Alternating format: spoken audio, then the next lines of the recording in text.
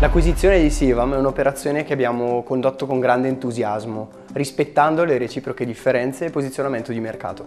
Proprio per questo motivo abbiamo voluto che le identità delle aziende e le reti commerciali rimanessero divise e indipendenti. Come vi ha detto Andrea Mazzoleni, abbiamo fatto una bella operazione, un'operazione intelligente perché abbiamo portato valori complementari nella, nel, nel, progetto eh, che abbiamo condiviso.